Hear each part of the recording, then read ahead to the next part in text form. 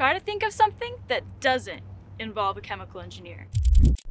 Chemical engineers are responsible for literally every technology. Chemical engineering is modern day alchemy, a highly technical yet equally creative field.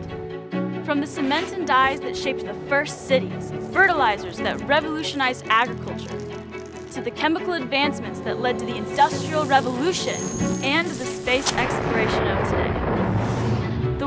Will always need chemical engineers, which is where we come in. The University of Arizona Department of Chemical Engineering will give you the skills to succeed in any company. You can reduce air pollution, develop new energy technologies, and deliver clean water in ways that were once impossible. The University of Arizona is one of the top two water resource programs in the nation. Here, you'll create solutions to the world's most urgent challenges. You can choose any path you want. Our skills are required in every field. This involves healthcare, manufacturing, semiconductors, and biotechnology. And some of us even go on to prestigious medical and graduate schools. Everyone in class knows your name, and the professors really care about our success. Ultimately, they get us where we want to go once we leave college.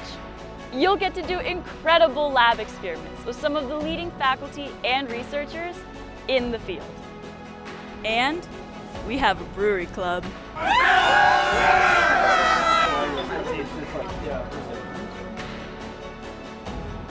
It's highly technical, but really, it's a lot of fun.